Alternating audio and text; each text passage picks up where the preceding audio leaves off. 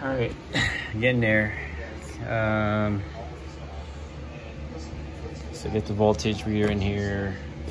Nothing fancy.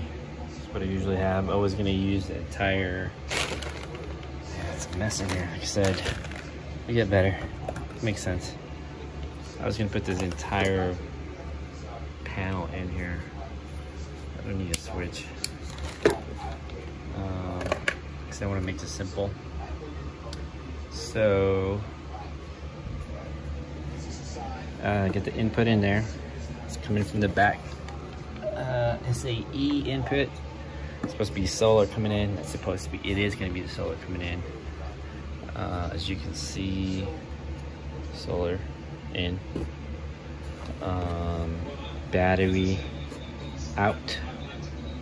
Uh, I mean, sorry, battery out. Positive coming in. Um, I wanted to tie in this. Ah, shoot, this breaker sucks. Okay, I gotta replace this. It's a 30 amp breaker switch that I had extra laying around for my camper. I do have a solar panel uh, set up in my camper as well. And I got one of these. This one's faulty or loose or something. It is a 30 amp circuit. Uh, I'm gonna drop it to like 10 amp or 20 amp. Um, I am running 10 gauge wires. Um, it handles about 30 amps max. Um, uh, like I said, I'm just kind of going by. Um, nothing planned out here, no schematics. I'm just going by what I know and with my experience with RVing and setting up my solar panels. Um, I mean, I know a lot of you guys are pros at this, but you know, I'm a simple guy, and I think I'm doing this right. Um, I'm gonna fuse few things in here. I mean, inline fuses as opposed to battery banks, or not battery banks, sorry, fuse banks. You know, it, it is it is nice to have a fuse bank, but in in my opinion, I could be wrong. Um, since there's a lot of pros out there. Uh, inline fusers work just as well. The same thing. Um, the fuse banks just makes it look nice in a single spot. But um, uh, anyway, enough talk. Going back to turn the TV down. CNN. And I'm sure it's about COVID stuff again. Uh, like I said earlier, using a Harbor Freight 700, yeah, 750 watt. It's probably, yeah, 1500 watt peak. That's not bad. And that's a Life PO 04 576 watt with Wanderer uh, controller 30 bucks nothing fancy uh, it does work with lithium um, lead acid gel and a deep cycle.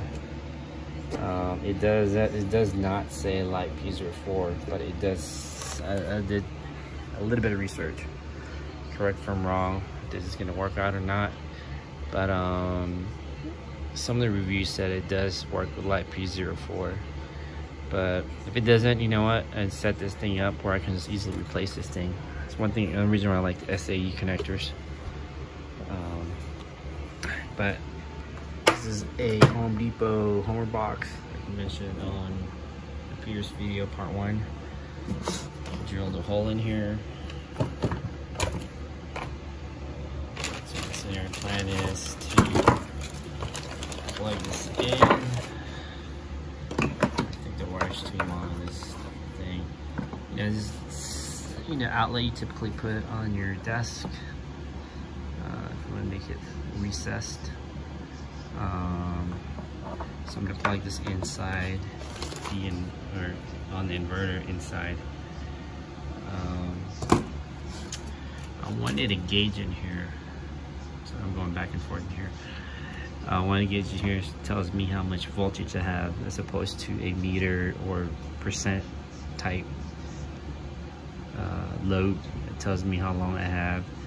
well I don't have that so I don't want to spend any more money than you know than I have already I mean I'm uh, I probably spent 60 bucks on this um, I already had the battery It's laying around in here uh, from a previous previous project.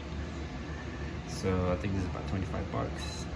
Uh, and uh, this thing here it came with that. Uh, I think 15 bucks. That's 15 dollars. Uh, adding I'm not trying to add up anything in here right now I'm just estimating. The Wanderer don't get the cheap one. Well this is kind of cheapish but don't get the uh, $13 one. Get a better one just like this one. Uh, inline breaker. Um, yeah it's just gonna go like that. All right I'm gonna try to finish it here. Um, summarize it. Uh, I tied this voltmeter with the controller so I can switch this off. Oh shit, already ran off. It's loose, like I said. And, alright, well, the reason why I got this Velcro too, so I can replace it. So everything's replaceable, like, easily, including battery. Um, what I was trying to say is I want to be able to switch this off just like so.